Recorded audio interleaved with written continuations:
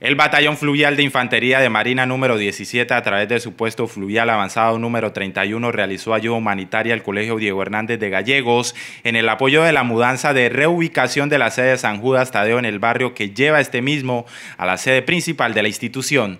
Esta sede fue cerrada por motivos de infraestructura por parte de la Secretaría de Educación debido a que presenta un peligro inminente para los alumnos de preescolar y primaria que se encuentran en esta sede y entrará en proceso de remodelación respecto a las condiciones mínimas para prestar sus servicios. De igual manera se apoyó con el traslado de aproximadamente 70 pupitres, 15 mesas, 40 sillas rimas, 30 sillas de preescolar, 5 escritorios y demás enseres que se encontraban en esta infraestructura. La Armada Nacional reiteró con esto su apoyo y su compromiso en ayudar a las comunidades por el bien de la juventud que se encuentra en esta región.